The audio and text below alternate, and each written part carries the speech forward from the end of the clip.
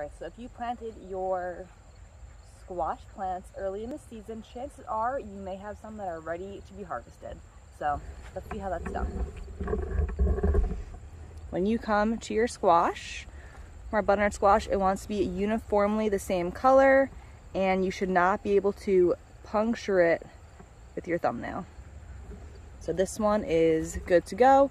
If you have the option of leaving it on until this part gets to be a little darker, that's fine. But as you can see, I got some pretty bad squash bugs going on. Let's harvest what we can.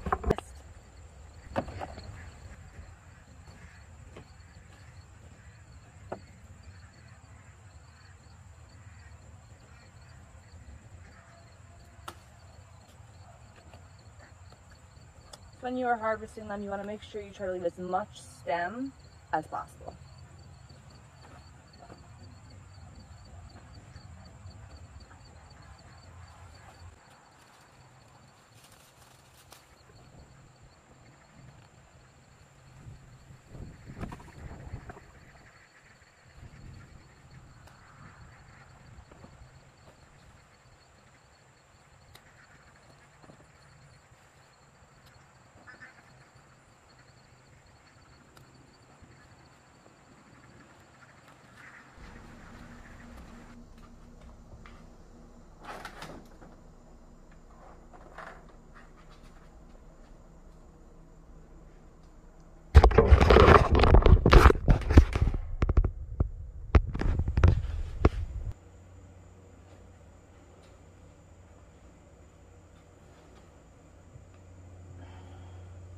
So once you have picked all of your squashes, you're just gonna rub them down with a clean towel.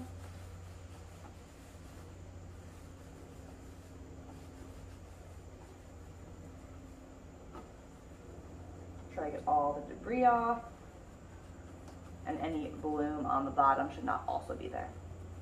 Okay, once you are done, you are just going to place them on a drying rack in a warm, slightly humid room for about 10 to 14 days.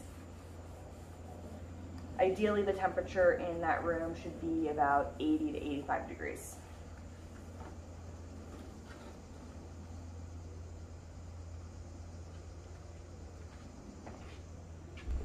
After two weeks, you're going to move them to a cool, temperature controlled room keeping them spaced so they are not touching. And yeah,